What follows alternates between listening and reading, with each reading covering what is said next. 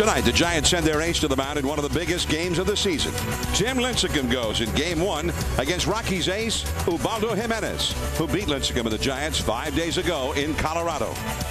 It's a matchup of two of baseball's best young pitchers in a pennant race showdown next.